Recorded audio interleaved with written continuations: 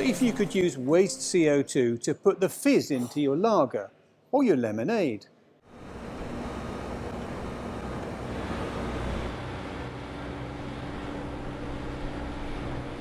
The horse poo and straw mix comes here to these gigantic tanks. They're like large stomachs full of bacteria that gobble up the mix and produce two streams of gas. One of them is methane, that goes to heat people's homes and cook people's dinners.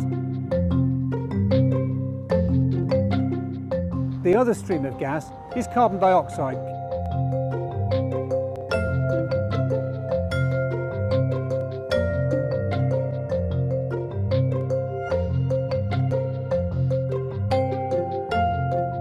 The CO2's liquefied in this tank and sold to breweries to put fizz in their drinks. Who knew?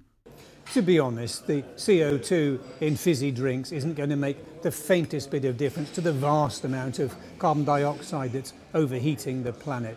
But on balance, it's better to have this scheme than not to have it. And do you know what? There is not the faintest whiff of horse's bottom